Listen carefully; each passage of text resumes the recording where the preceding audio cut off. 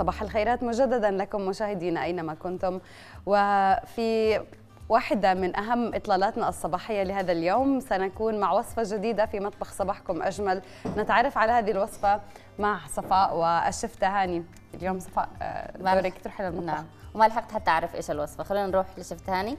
شوف أنا إيش عرفت. الوصفة. أنت عرفتي. تيجي في ما رح أحكي طيب.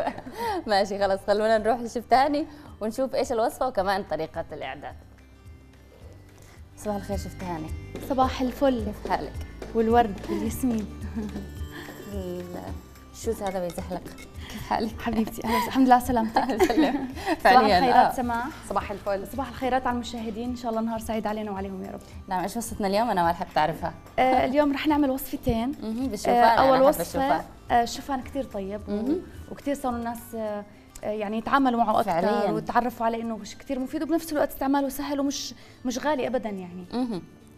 آه شو هي أصلاً الوصفة؟ رح نعمل مخبوز الشوفان مع التفاح. اللي هو البيكت أود مع التفاح تمام آه وصفة كتير سهلة عملنا شبهها مرة بالتمر آه، اللي هي. مخبوز التمر مخبوز التمر آه. هاي شبهها شوي شوي في تغيير بالمقادير حلو كمان بالفرن آه بالفرن أكيد اليوم رح أحكي لكم شو السبب في التغيير ممكن جميل. آه في أسباب بسبب وجود التفاح. آه أول شيء بدنا نحكي عن مكوناته. اليوم مكوناته بالأكيد بالتأكيد تفاح. عندي آه تقريبا ثلاث حبات تفاح كبار مقطعين. الحجم المتوسط ما حبيت أكترهم كثير وعصرنا عليهم عصرة ليمون لحتى نحافظ على لونهم. يعني عصرة الليمون هون الهدف منها إنه إذا بدي افرم التفاح من قبل بفترة يعني أول شيء بدي ابدا فيه راح يتغير لونه. صح. أو عادة التفاح سريع التأكسد راح يتغير لونه. يفضل أعصر عليه عصرة ليمون بسيطة يعني تقريبا معلقه. واحدة ما حيتغير لونه. هاي بقي لونه زي ما هو تقريبا أنا. لي نص ساعة مفرماه بقي لونه زي ما هو. حلو. عصرة الليمون بس لهذا الهدف. البطاطا يعني ما بدي أنا نكهة. شوية البطاطا قولي في شيء ممكن نحط بنحطها عليها بالمي. كمان شوية آه، بالمي بالميه بس. الباذنجان بنحط عليه آه أنا بحط عليه برضه ليمون.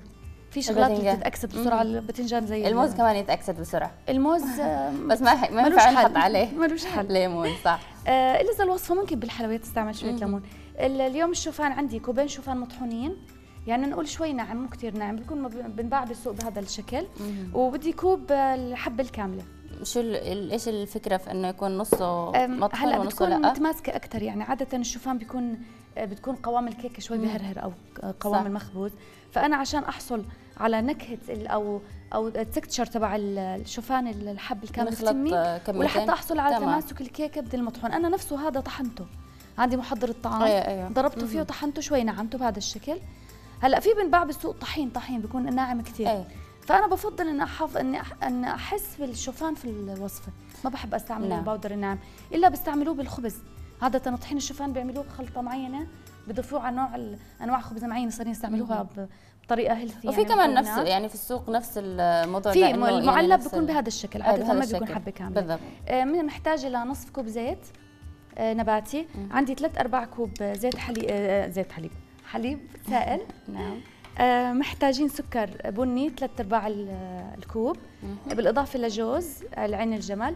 بيضتين المادة الرافعة عندي معلقة كبيرة baking powder آه، نص معلقة صغير baking soda ومعلقة صغيرة قرفة بالإضافة لرشة ملح. جميل. يعني متحمسة أنا صراحة لهذه الوصفة بما أنت انه كثير حبيتيها الشوفان مع التمر كثير. وهذا كمان بشكلي بحبه. يعني أي حاجة فيها شوفان آه جدا صحية وهي تعتبر من الكربوهيدرات المعقدة جدا من أفضل آه مصادر الكربوهيدرات آه آه عموما هي والكينوا. طيب خلونا نعيد عليكم المقادير آه اللي حتظهر على الشاشة مشاهدينا. ومقادير وصفة مخبوز الشوفان. بالتفاح وجوز الهند. طيب اثنين بيضتين ملعقة صغيرة فانيلا وملعقة صغيرة قرفة ثلاثة أرباع كوب حليب نص كوب زيت ثلاثة أرباع كوب سكر بني وكوبين تفاح مقطع عصرة ليمونة وكوبين شوفان مطحون كوب شوفان حبة كاملة وملعقة كبيرة baking powder نصف ملعقة صغيرة baking soda وكوب جوز أو عين الجمل كما يسمى. أيضا رشة ملح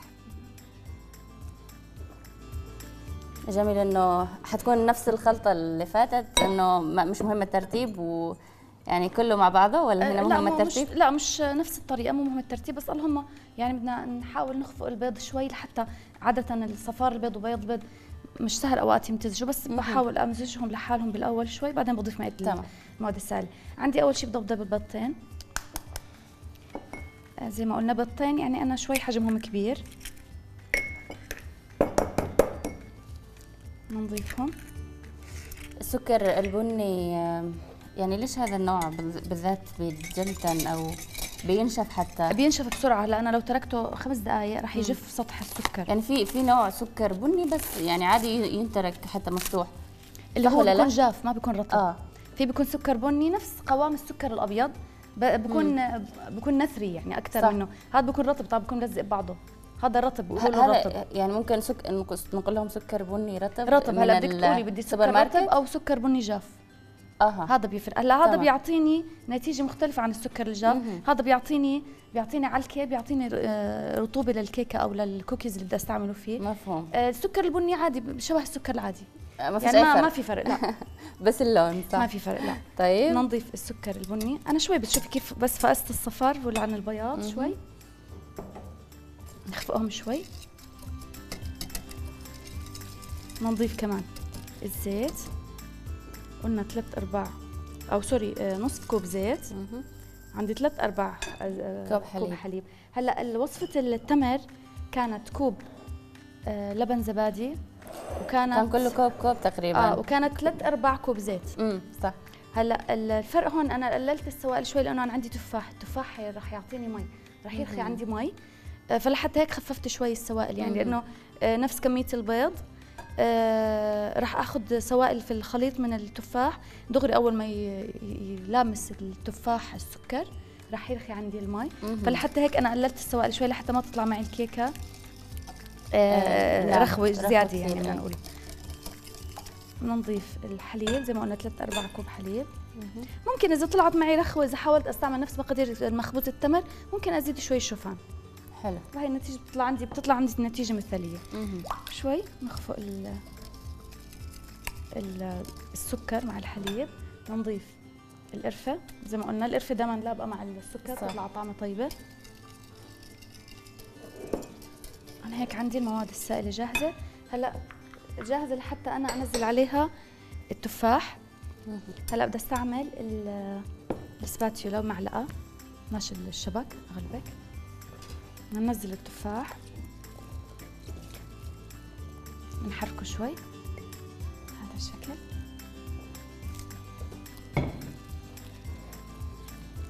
صار الآن زي ما قلتي الشوفان يستعمل كثير في كثير أطباق. خصوصا آه، للناس آه آه، بالحلو بالمالح. بالحلو والمالح صح. الناس يعني كثير طرق. تتجه أكثر للوصفات الصحية تحاول تعمل وصفات صحية أكثر. نعم. آه وصار برضه الشوفان كان زمان منتدى وكان كانت تقريبا ماركة واحدة بالسوق معروف إنه هذا الشوفان. الآن كله بيبيع معروف. هلأ حتى الشوفان بتلاقيها بمحلات ال- بدنا نقول السمانه ومحلات المواد التموين يعني بيبيعوا لك اياه بالكيلو حلل يعني. إيه. زمان كان ما نلاقيه إلا معلب وبالمجمل كميات بسيطة، آه. نعتبر ثمنه شوي غالي هلا بالحلل بالكيلو كثير سعره أرخص صح فأنا ما بشتري إلا بالكيلو بصراحة بطلت. أشتري بال... أنا عندي شوفان دائما بالبيت هذا موجود. كمان في الشربات آه، في رمضان حاضر أها. كثير في, في الموائد الرمضانية اليمنية آه ضفنا و- ال baking powder. وال baking soda بدنا نضيف كمان ملح رشة ملح يعني ربع معلقة بس كمية بسيطة طبعا ال- ال baking soda بتعمل على إنها تنفش ال ال عموما المخبوز أو الكيك بالعرض وال baking powder بالطول صح ولا لا؟ لا هو شوفي ال- الشكلين نفس الشيء بيرفع الكيكة لفوق دائما الحرارة بتكون من فوق بترفع الكيكة لفوق مهم. من تحت sorry طب شو الفرق ما بين آه هلأ ال baking soda أقوى من ال baking powder هي ال baking powder نفس ال baking soda بس مخلط بيكون مع سكر ناعم. فلحتى هيك بيكون مفعولها كثير أخف اللي هي نعم اللي هي ال baking powder. ال baking powder ال baking soda بتكون آه، أقوى نتيجتها أقوى. فدائما بيستعملوها بالكيك الثقيل اللي فيه حشوات زي التفاح نعم. المكسرات ال- اللي تمر مثلا. فلحتى هيك بتلاحظي بستعمله بكمية أكبر. الكيكات العادية نقول كيكه برتقال كيكه ليمون اللي ما فيها حشوات. مو محتاجين نستعمل baking soda إلا ممكن يعني لحتى تحصل على نتيجة مثالية ممكن نحط براس المعلقة يا دوب ربع المعلقة. صحيح. فقط. يعني مرة بسيطة الكميه لأنها مفعولها قوي.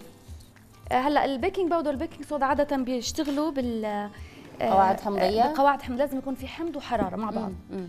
آه، يعني الحمض يعني عادة ال- لما يكون في baking powder بنحط خل أو بنحط ليمون كثير بتعطينا نتيجة صح. أفضل من أو إنه ما أحط ولا شيء كمان الزبادي برضه فيه حموضة. آه، بدنا نحط هلا المواد الجافة اللي هي الشوفان ثلاث أكواب مع آه، معلقة كبيرة baking powder مع نص معلقة صغيرة baking soda.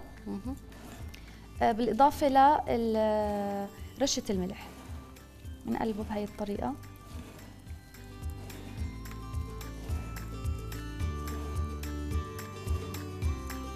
الجوز ال- حيكون على الوجه ولا شوف أنا بدي أكسر؟ شوي وبدي اضيف شيء على على الوجه على الوجه.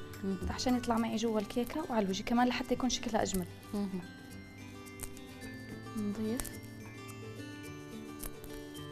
شوف أنت لاحظتي معي ال- الخليط رخو من اي صح التفاح صح. التفاح أعطاني سوائل بس زيادة ممكن شوي. ممكن يبقى رخو كمان أكثر بما إنه التفاح حيذبل داخل هلا الفرن. آه كل ما تركته فترة أطول بال- بالسكر رح رح يعطيني مي أكثر. أقصد داخل الفرن كمان ممكن يذبل شوي وي... رح يدبل هو أكيد رح يدبل معي من الحرارة رح يدبل مهم. آه، حيكون الخليط بس أكثر النضج رطوبة. مش كان مش رح يعطيني نضج يعني التفاح رح أحس فيه في تمي يعني ما ما رح يدوب. مم. لأن أنا اجمالا عملته قطعة كبيرة.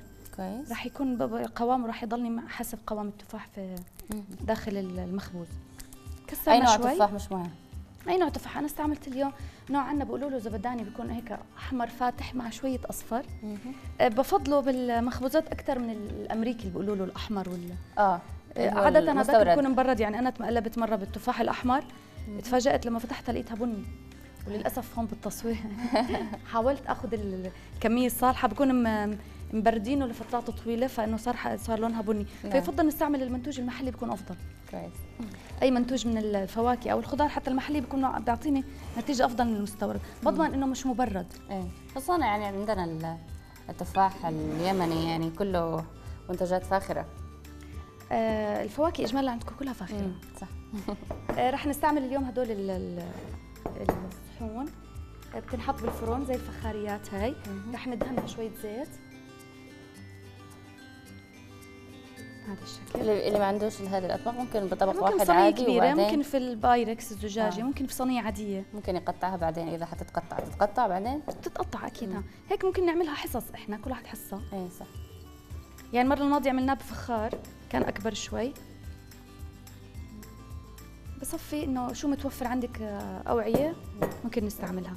المهم إنها تدخل على الفرن و... ترى لو حطيناها بالميكروويف شو رأيك؟ هلا أنا بعمل كيك بالميكروف بزبط. أنا هذا الكيك بيزبط بيطلع كمان؟ ممتاز معي بالميكروف أكثر من ال... بزبط آه. بنحطه. بس كم حيحتاج ما بياخذ؟ كثير يعني الصحن ممكن ياخذ معك دقيقتين ونص. بس مش زي ال... هلأ أنا الكيك بحطه بال... بعمله بال mug. نفس خليط الكيك العادي بعمله. آه. بحطه بمجات. واحدة كفاية. بحطه بمجات بال mug، وبحطه آه، بيعطيني فعلياً. نتيجة أفضل. هلأ عادة ال ال الأفران هي الميكروف شبه الفرن الكهرباء. لما يكون الفرن كهرباء بوزع ال- الحرارة بالتساوي فوق وتحت. نعم. هلا الميكرويف شبه نفس الطريقة بيعطيني آه، توزيع في الحرارة فوق وتحت فبتطلع نتيجة الكيكة أفضل. لما أعمل. الكيك بالفرن عادة كثير بنفخ معي لأنه الحرارة دائما من تحت. فزي ما قلتي إيه. دفع ال baking powder بيكون من أسفل لفوق إلا يعمل معي المنظر اللي هو زي القبة هيك كثير أيوه عالي لما أخبز بالفرن الكهرباء ما بيعطيني هذا العلو الزايد بالكيك. بترتفع بشكل متساوي بتعطيني تقريبا سطح مستوي لما ترتفع.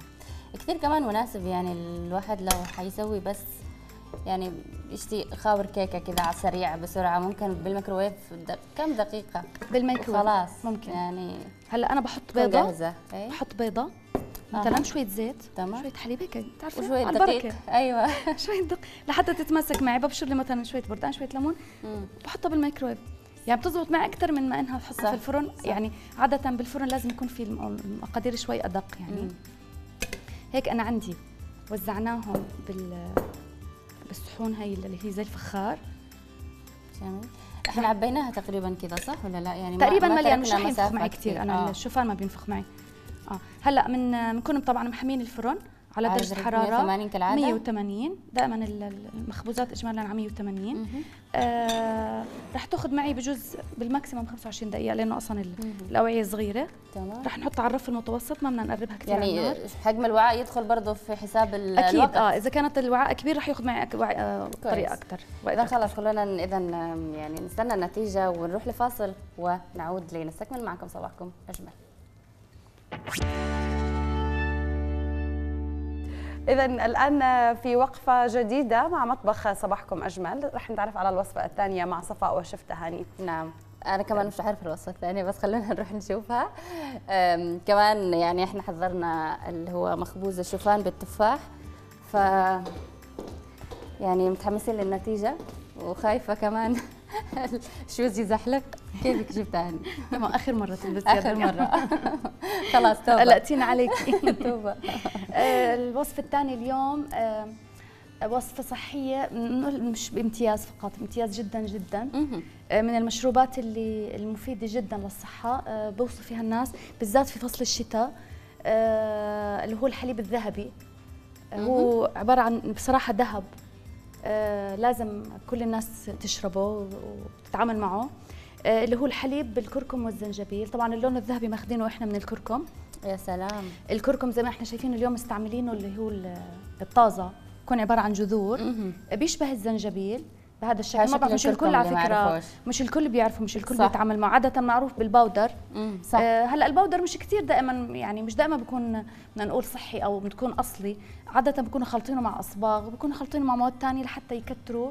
بس آه يفضل في الحليب الذهبي لحتى نكون صحيين أكثر نضمن نتيجة أفضل نستعمل الكركم الطازة بيكون بهذا الشكل على شكل جذور. جميل. لو ف... لو لو تكسري؟ طبعا هو طري كثير آه. بيكون بهذا الشكل. تمام. برتقالي حتى لو مش كثير أصفر. بكون برتقالي؟ بيعطيني. بس في لما نستعمله مثلا في الطبيخ حي- في الحليب رح يعطيني اللون. الأصفر. أوكي. آه، بيكون بهذا الشكل. آه، رح نستعمل معه الحليب. عندي هون آه، آه، بصراحة أنا بالمقادير حاطه كوبين. بدي أحط أنا ثلاث أكواب حليب. حليب بقري استعملناه كامل الدسم يفضل يكون كامل الدسم. بما إنه صحي ما بدنا ناخذ آه، اللي هو قليل الدسم أو خالي الدسم لأنه هاي الوصفة محتاجة لدهن. لازم تمام. يكون في دهون. حناخذه من الحليب اليوم الدهون. كامل آه الدسم. كامل الدسم. عندي كمان الزنجبيل الجذور اللي هي الطازة بهذا الشكل الكل بيعرفها. الأغلب الزنجبيل معروف أكثر. بيستعمل في الطبيخ أكثر آه، ومشهور أكثر.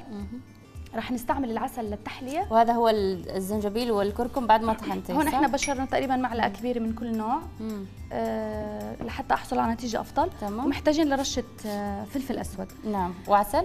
العسل طبعا آه. للتحلية. تمام.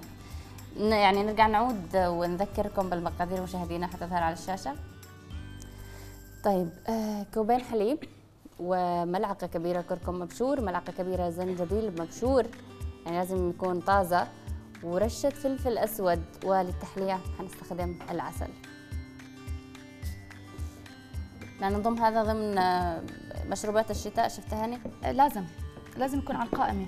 نعم. آه، مشروبات الشتاء. كثير ممكن. لأول مرة حيسمعوا بهذا المشروب يعني. هلأ شوفوا عادة بينعمل نغلي الحليب بهاي المكونات بس أنا بالبيت بعمل بالعكس بغليه بمي بغلي الكركم والزنجبيل بمي دائما عندي بيكون standard بضيف عليه الحليب. أما الحليب اللي هو مبخر أو ممكن حليب powder آه يعني. حليب مبخر تمام. آه يعني روحه أطول أو بعيش أكثر عندي بالثلاجه من ما مهم. يكون مع حليب. تمام. عادة الحليب سريع يفسد معي فلحتى هيك بفضل إنه لحتى أكون متشجعة. عادة الناس بتكون متكسلة إنه كل يوم تغلي أو مثلا تقوم تعمل الحليب هذا أو أي مشروب اجمالا صحي سواء أعشاب أو شو ما كان. آه أنا بأوقات بعمل كمية وبحطها بالثلاجه بتحطي آه، مية وبعدين؟ بغلي الزنجبيل والكركم مع مي. وبضيف عليه الحليب وقت الشرب. إما الحليب آه. مكثف أو مبخر أو ممكن حليب حليب العادي. المركز يعني إحنا اللي هو اللي بنستعمل المبخر مع الشاي. إيه بنستعمله مع. الشاي. ممكن آه تمام. وبنضيف عليه الحليب هيك بتكون روحه أطول. بس بدنا نشوف إحنا نحكي لكم الطريقة الأصلية تمام. كيف بيستعملوا أول شيء بدنا نضيف الحليب. نستعمل أي طنجرة أي أي شيء عنا ممكن نحطه على النار نحط فيه هو الحليب كوبين ولا ثلاثة؟ شفتاني هو بس ثلاث مكونات على فكرة. والتحلايه للعسل أربعة sorry. لا أقصد ال- الحليب هذا زي كوب؟ الفخارة. الحليب كم كوب؟ آه، ثلاث أكواب. ثلاث أكواب. شو بركز معك ابدا أنا بس عندي. ثلاث أكواب. أنا بالمقادير حاطة كوبين بس طبعا نقدر آه. نضاعف قد ما بدنا. تمام. آه، طبعا زي ما قلت لكم كامل الدسم أنا استعملت اليوم حليب بقري. ممكن نستعمل حليب لوز اللي بيحب آه، يستغنى عن حليب البقري. لوز الآن حليب جوز انتشر. كثير. آه صح. آه، ممكن حليب جوز الهند. هلأ في ناس مثلا ما بفضلوا أو في عندهم مثلا حساسية معينة من الحليب ممكن يستعملوا نوع آه، حليب اللوز أو حليب جوز الهند. آه، فيه دسامة بيعطيني نفس النتيجة. نعم. طبعا زي ما قلنا أنا عندي هون بشرت الزنجبيل والكركم بدنا نستناه شوية في الحليب هلأ شوي بدنا نحكي لكم عن الفوائد تبعت الكركم هلأ مهم. الكركم معروف مادة الكركمين آه هاي المادة طبعا آه معروفة كثير اللي هي فيها مضادات الأكسدة مضادة الأكسدة طبعا هي بتساهم كثير في مقاومة الأمراض مقاومة خصوصا الأمراض. مرض السرطان السرطان مم. وبتجدد الخلايا بتسا... بت... يعني بتعاكس عمل تلف الخلايا بتقاوم تلف الخلايا فلحتى هيك كويسة هي بمقاومة السرطان مقاومة مقاومة الزهايمر كمان ممكن. الزهايمر والشيخوخة. اجمالا بحافظ على خلايا الدماغ وخلايا الجسم بشكل عام. كويس. آه بالإضافة إنه هو آه مادة بتساعد إن الواحد يحس السعادة. بت- بتعطيني آه، مادة الكركمين. آه، بتساعد على إفراز هرمون الدوبامين والسيروتونين آه، اللي هو هرمونات السعادة يا بيقولوا لها سلام صح آه. هذه كمان تفرزها الشوكولاتة السوداء فعليا الشوكولاتة السوداء ما- ماده الشوكولاتة السوداء. مزبوط آه، فبالاضافه لهذا كمان بيساعد على تجديد الكبد والمحافظة وتنظيف الكبد آه، في له كثير فوائد كمان بحافظ على خلايا القلب وعلى توسيع الأوعية الدموية يعني فوائد لا تحد ولا ولا نعم. تعد ولا تحصى نعم. بالإضافة إنه آه، ضفنا الزنجبيل اليوم إنه بحافظ على خلايا الرئة مثلا دائما معروف لما يكون عندنا سعله لما يكون عندنا أي مرض أي التهاب في الجسم صح. لازم نستعمل الكركم والزنجبيل آه، من مضادات الأكسدة الممتازة مهم. اللي مش لازم نستغني عنها. نعم ويستعمل كثير كمان في الشتاء. طبعا هلأ آه. أعطيتني حس حصة ممتازة في يعني التغذية.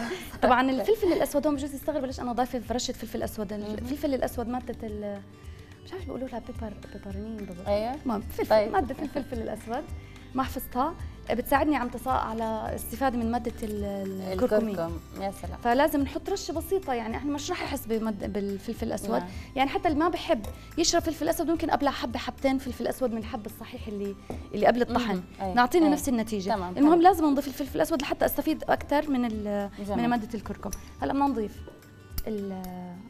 الزنجبيل والكركم المبروش. شوف أنا أعطاني نتيجة. آه. دغري رح نغليه يغلي شوي. اللون آه صح. اللون طبعا هو كثير. بيصبغ. يعني لا يفضل إنه لما نبشره نستعمل جلوفز آه أي سطح ممكن يصبغ. يعني أنا هون حتى عندي بتعرفي صبغ؟ سطح المطبخ نعم. عندي.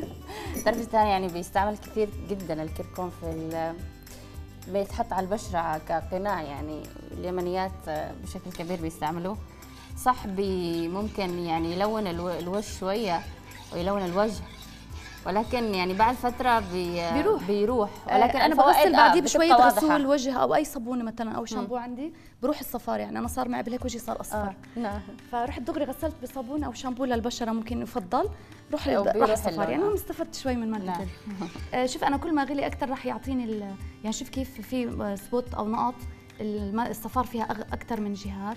طبعا كل ما غلي معي راح يعطيني نتيجة وراح يعطيني لون أغمق. آه، طبعا لازم نصفيه قبل ما نشربه. نحط هلا نضيف رشة الفلفل الأسود يعني زي ما إحنا شايفين. بس رشة. يعني يا دوب. ربع معلقة. يغلى يقدم ساخن طبعا يفضل. آه، بيطلع اطيب بنصفيه قبل ما نسكب في الكاسات لحتى أتخلص من هاي الشوائب اللي هي سواء قشور الكركم أو قشور الزنجبيل أو حتى حبات الفلفل الأسود.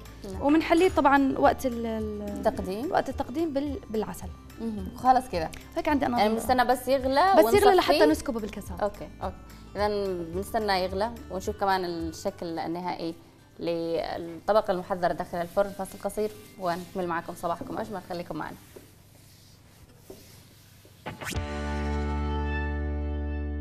الجولة الأخيرة والمحطة الأخيرة ستكون معنا في مطبخ صباحكم أجمل. سنذهب عند شيف تهاني حتى نشوف الشكل النهائي لهذا الصباح.